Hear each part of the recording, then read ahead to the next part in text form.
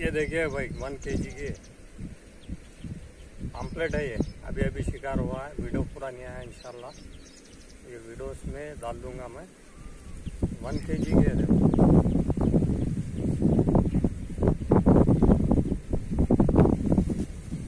अभी निकाल के बताता हूँ।